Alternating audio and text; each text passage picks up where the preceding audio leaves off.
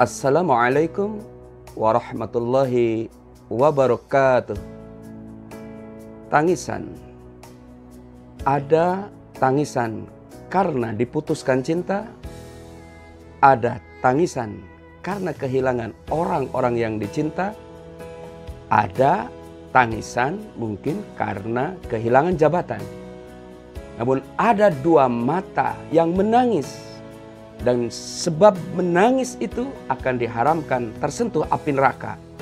Yang pertama, ainun bakat min khosyatillah, mata yang menangis karena takut kepada Allah.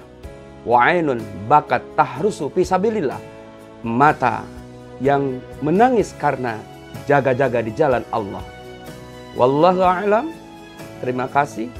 Wassalamualaikum warahmatullahi wabarakatuh.